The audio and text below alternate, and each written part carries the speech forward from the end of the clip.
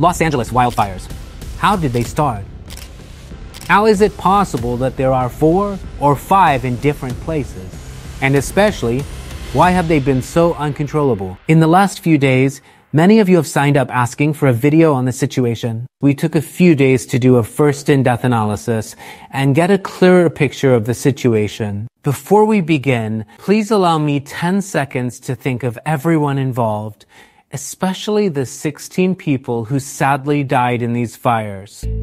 First, let's try to focus on the geographic location of these fires. This map, updated on January 12th, clearly shows four major fires in Los Angeles. There are actually five, but the fifth is much smaller. The first is Palisades, which is the largest fire currently active and the first to break out on Tuesday. It has already burned over 23,000 acres then there's the Eaton Fire, which is located in the northern part of Los Angeles and has affected areas like Altadena. And the second largest fire in the area, in fact, has burned more than 5,600 hectares. A hectare is like a football field. The third is the Hurst one. It flared up on Tuesday night. It is located further north, actually northwest of the Hollywood Hills. It has reached 323 hectares. But as fortunately confirmed by the institutions, it has been contained by 76%.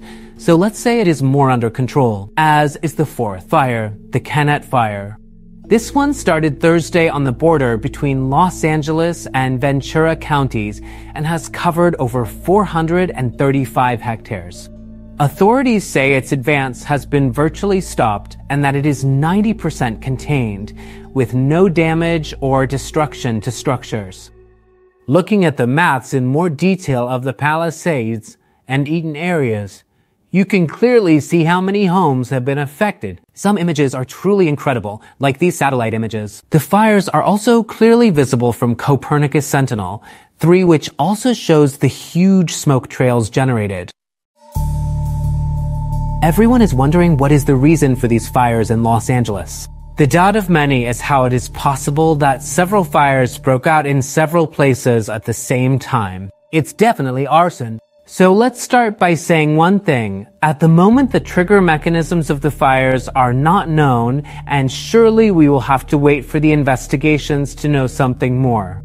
But it is interesting to know that in the area in the past some fires were actually intentional. Others were started by fires, lit by people, and then put out badly, but some, on the other hand, among the most devastating fires, were caused by faults in the electrical line, as in the case of the Paradise Fire in 2018. So, jumping to conclusions based on simple logic alone is a mistake. What we do know is that these fires were triggered by a series of factors that contributed to their rapid spread and advance. As often happens with the most violent and devastating phenomena. There's not just one cause, but a series of causes, a mix of ingredients that generate a destructive cocktail.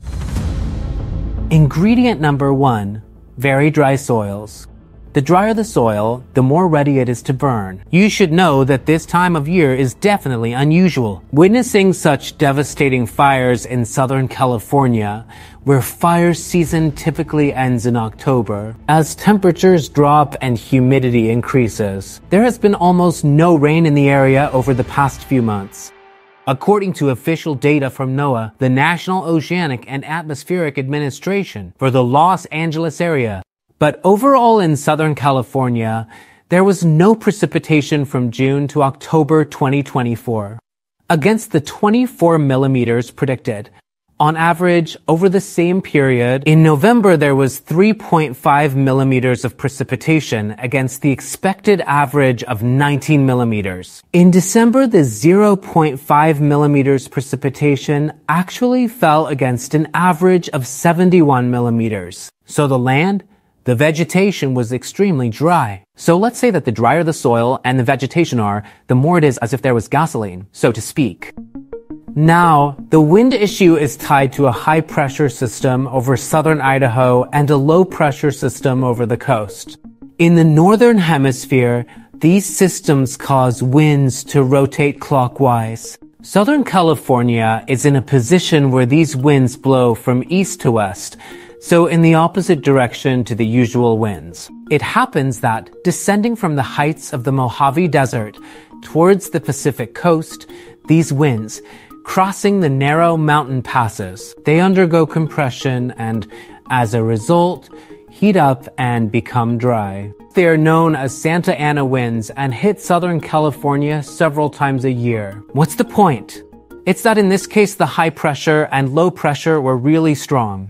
So if there are strong high pressure and low pressure, the wind will be very strong accordingly. In fact, the gusts reached impressive speeds, reaching up to 150 to 160 kilometers per hour in the San Gabriel Mountains. Wind on fires, what does it do? It does more or less what we do with charcoal.